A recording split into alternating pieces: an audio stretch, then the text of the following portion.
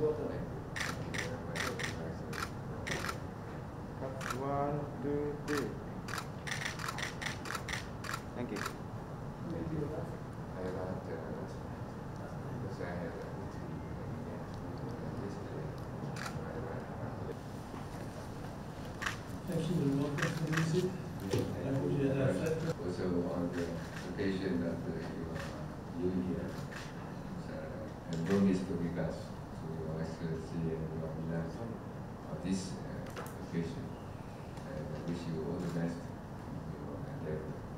Thank you, thank you very much, and uh, I take opportunity to wish you also the Yes, uh, this morning uh, also a very good and fruitful uh, audience with uh, good laugh about the Vietnamese people and also food uh, in uh, the past that she had team to arrange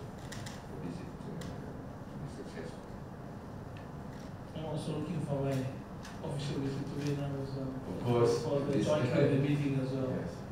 The friendship has grown much stronger because of that. So I'd like to revise.